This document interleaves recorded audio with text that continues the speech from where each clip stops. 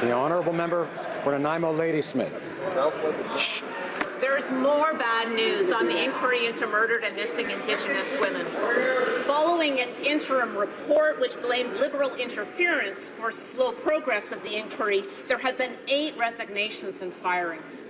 The Prime Minister said he would review the report and pay attention to its recommendations, but nothing's changed. The Liberals have broken their promise to families that they would do everything in their power to help this vital inquiry succeed. When will they finally put words into action and bring this national tragedy to an end? Minister of Crown Indigenous Relations. Mr. Speaker, our government is committed to ending this ongoing national tragedy and to ensure that the Commission has all the support it needs to succeed.